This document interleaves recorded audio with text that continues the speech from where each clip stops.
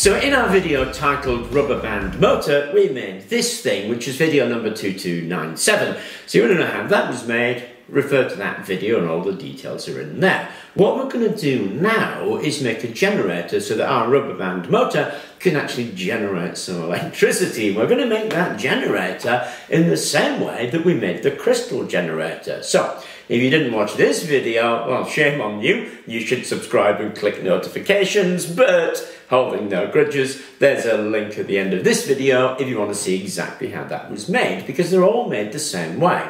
And I don't want to go through the same stuff time and time again, so if you want to know some details about this, then refer to that video. However, we're going to make a cassette like that, which is this set center section here, and it's made in the same way. But to help you, what I've done is I've done this cassette drawings in Tinkercad.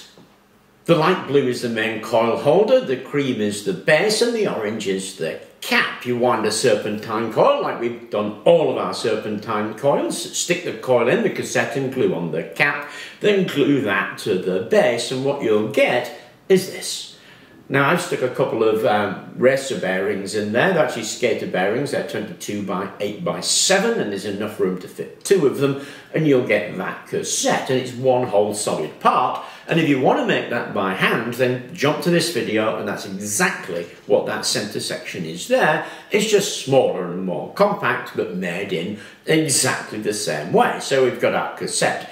The only other thing we need, of course, is our magnet carrier. And now for our magnet carrier, I've prepared this.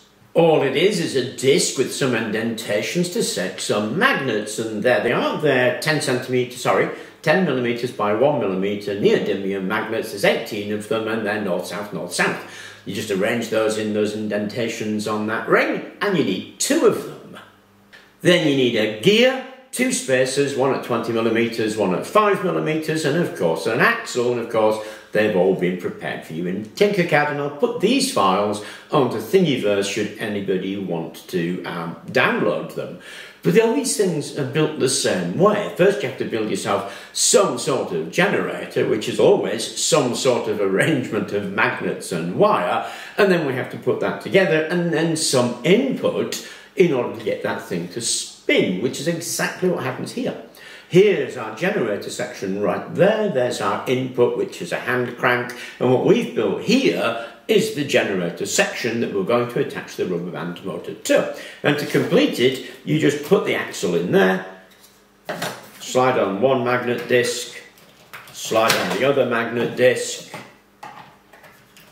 glue on this 5mm spacer to stop everything coming off, glue on the 20 millimeter spacer on, sorry, it's the wrong side, 20 millimeter spacer on that side, 5 millimeter spacer on that side.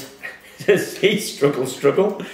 And then the cog goes on there where that 20 millimeter spacer was. That's our generator done with its input ready. That gear is going to take the input from the rubber band motor. That's our generator section that's going to generate electricity. Now on the motor, all I've done is put a couple of blocks, one at the back, one at the front, and of course they're drawn up in Tinkercad, and of course they're in the STL files on Thingiverse, and all they allow you to do is just drop the motor down flat, so nothing rubs and it's nice and even. To charge it or wind it up, all you do is exactly what I showed you in the previous video, give it a few turns. And that cog engages with the back cog, slide it into place until you see it engage, and then we're going to let it go. But what I've got here is a light bulb, and we're going to see if we can light that light bulb from a rubber band.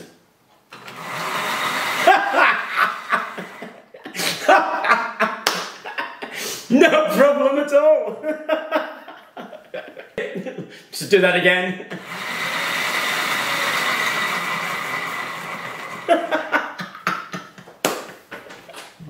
okay, so this time I've attached a Rheingold multimeter to it, and we're going to do that again, and we're going to see what kind of voltage we get out of it. Okay, so it's open circuit voltage, but it'll give us some kind of idea.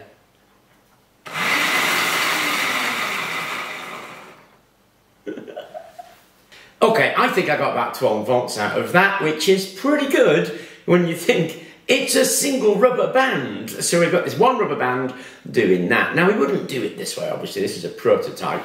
What you would do is use that discharge to charge something like, say, a supercapacitor, then use a, a, less power hungry lamp and that would mean it would run longer because this would charge the supercapacitor in the short time that it runs, and that would even out the power so you got a longer time of being able to light it.